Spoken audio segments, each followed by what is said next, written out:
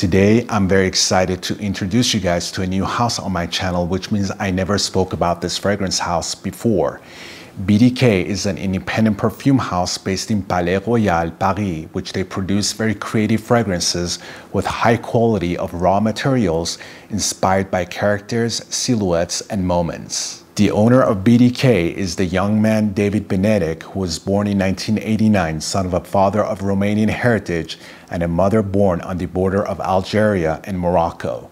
David Benedek's grandparents were amongst the first authorized independent fragrance stores to distribute name brand perfumes in their shop back in 1950s in Paris, so he was always surrounded by perfumes. Today, ladies and gentlemen, we are going to review the infamous Gris Charnel Extrait version, which was launched after the original Parfum version in 2022.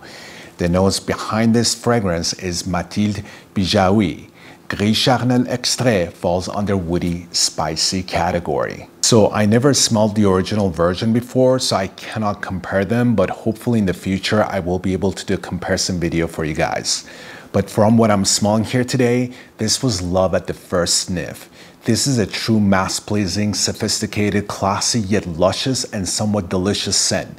Very heavy and quite powerful sillage on the first spray. So a lot of reviewers, they got the opening phase of this scent completely wrong, or let's say they got it the other way around.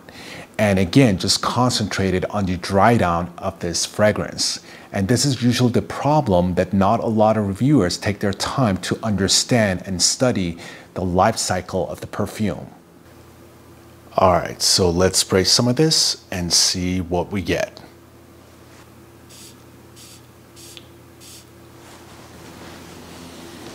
God, this is so sexy. I fell in love with this on the first initial spray when I unboxed this for Instagram.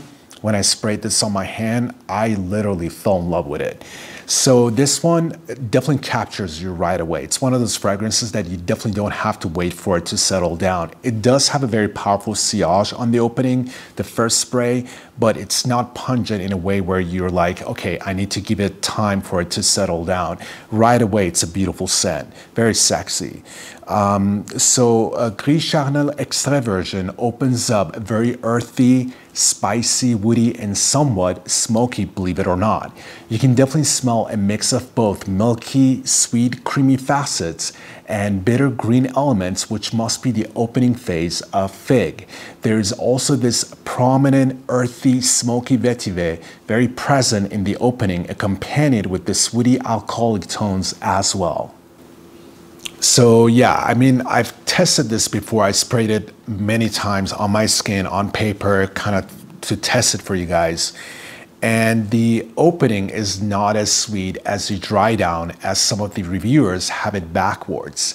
The opening is actually, as I said, very earthy, bitter green, warm, spicy, woody, with a sharp, sweet, resinous, aromatic, and spicy note with a bitter aftertaste, which also must be a big dose of cardamom, which is accompanied with a sweet herbaceous green element, which must be black tea.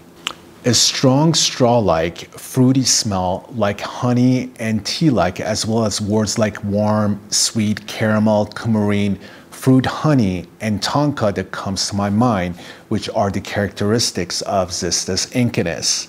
We have a big dose of bourbon vetiver in here, which creates the smoky, dusty, earthy, woody, and green nuances in the opening as well. The orris root or the iris also helps with the earthy, woody, powdery, violet floral-like nuances, which also has this boiled carrot-like smell.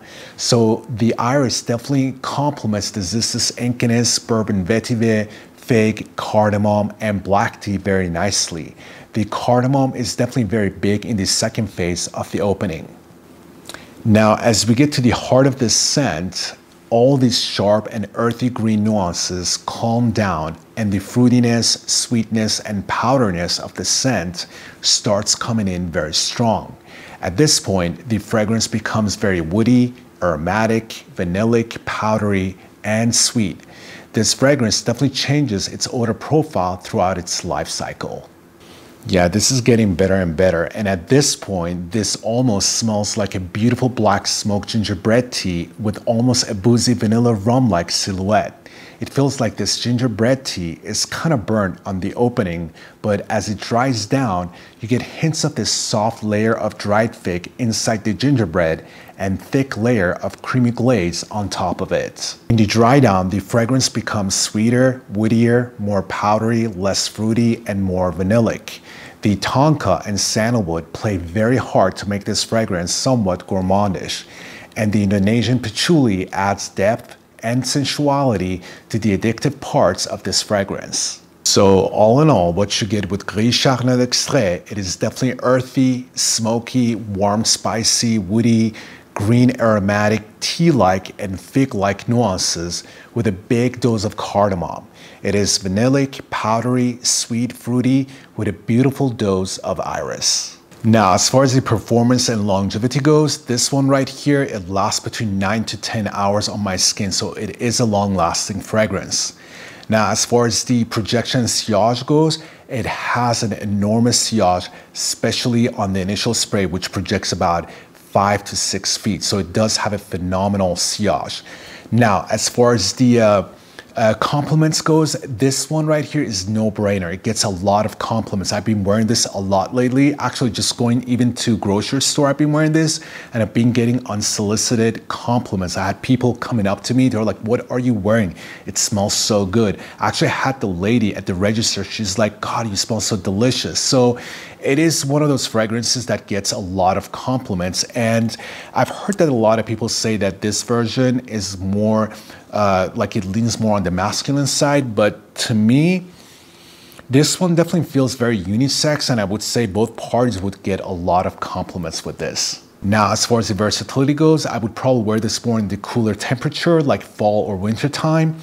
Uh, but as far as like the events goes, I would wear this at any event, uh, dressed down, dressed up. It's an easy fragrance to wear and it's an easy fragrance to like. So it's a very mass pleasing type of a scent and um, it could easily be your signature scent. So I would say this one is very versatile. Now, as far as the uniqueness goes, uh, I don't have any fragrance that this one resembles it or it doesn't remind me on any fragrance that I know of. I haven't smelled the original Parfum version, so I wouldn't be able to compare this. But to me, just that green, earthy opening, that smoky opening, and how it completely turns into this uh, woody, sweet, fruity, uh, cardamom, uh, kind of sultry type of a scent makes this fragrance very unique to me. With that being said, ladies and gentlemen, we get to my video. That's all I have for Gris Charnel D'Extrait version. If you own this fragrance, please let me know in the comment section what's your take on it. And if you don't own this, I'm telling you, definitely have to get your nose on this one because it is a beauty. And that's it, you guys. That's all I have. Thank you so much. And hopefully I'll see you guys soon with another video. Bye.